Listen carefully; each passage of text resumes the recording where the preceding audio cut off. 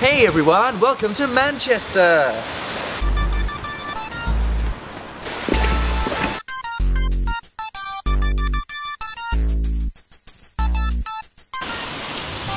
Yeah, I, I want to stop doing this stupid thing. What? This stupid MTV thing, it's stupid.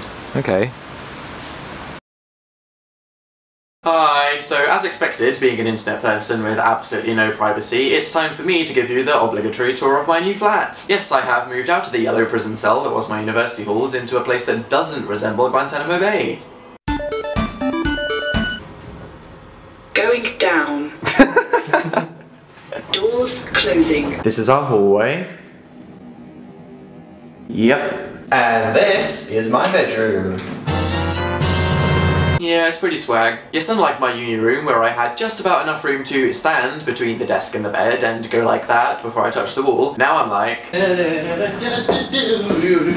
These are my stuffed toys, because I have the mental age of a 10 year old. Clothes, where I keep my victims. The purple area. My limited edition Guild Wars cloth, because I'm a massive nerd, oh my god. Kanye posters. Where a what? Meh. Now this is cool. This is an amber lamp that I got from Morocco, and it's all real amber, and in some of the little crystals you can actually see little bugs that have been preserved for 200 million years. So you know, when I get some spare time, I'm thinking of making Jurassic Park. This is what I smell like. Hello Kitty Pez dispenser, because I'm that cool. And this is my bed. Yeah, I came with these really naff blue cushions. This room needs more brown. Brown. Indian cloths. Indian cushion. And an Indian rug, which is really cool. Some shiny, shiny crystals. We've got an elephant piggy bank, my box of secrets, which no one must ever know the contents of. My dream diary, which I've been keeping for 11 years. Books in drawer, make of them what you will. And here we have my bear. I've actually had this bear since the day I was born because my grandma gave it to my mum after she gave birth to me, so yep, you can see.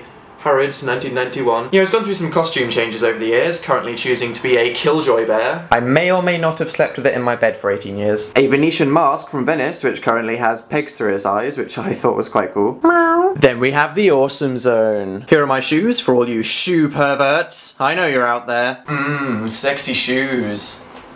Uh, uh. Xbox, TV, Kinect, Rock Band controllers, Africa Leopard, a wooden frog that makes a frog noise when you stroke it.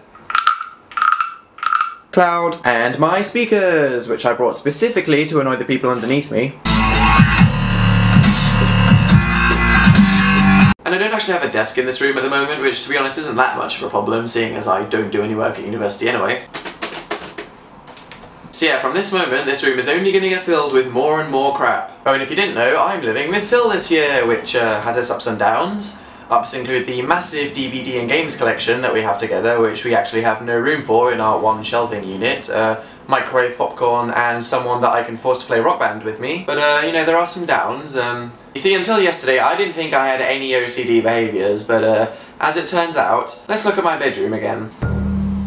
Everything's symmetrical. It's so ordered. Then let's look at Phil's room.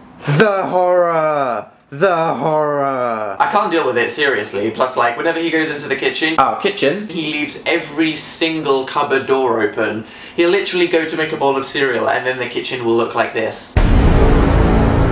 Yeah, I sound weird now, don't I? Also, because he has more subscribers than me, he gets the ensuite bathroom. Yeah, enjoy your crappy one without a bath. Doesn't even have a bath. This is our lounge area. Pretty cool, huh? Dining table, three sofa, two sofa, Weeble cat.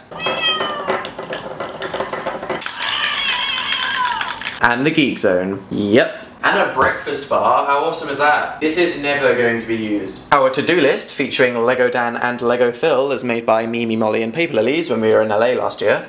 Hmm. Yeah, this year I actually plan on learning to cook good food, so in preparation for this, I have bought two Delia Smith cookbooks off Amazon. Oh yeah. Here's our current fridge for all you fridge perverts. I know you're out there. Balcony.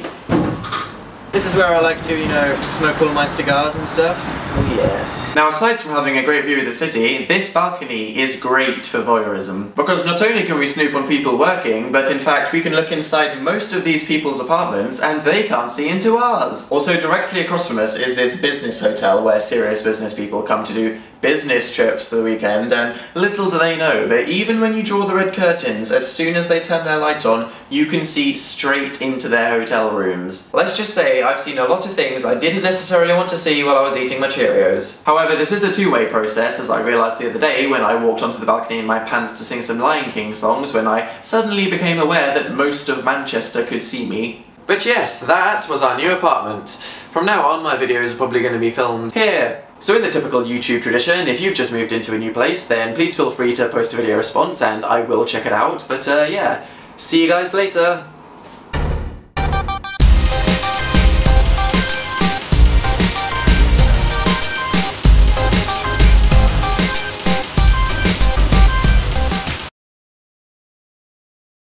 And here's our breakfast bar for all you breakfast bar perverts. What's a breakfast bar pervert? Everything is a fetish. Mmm, breakfast bar. Breakfast bar.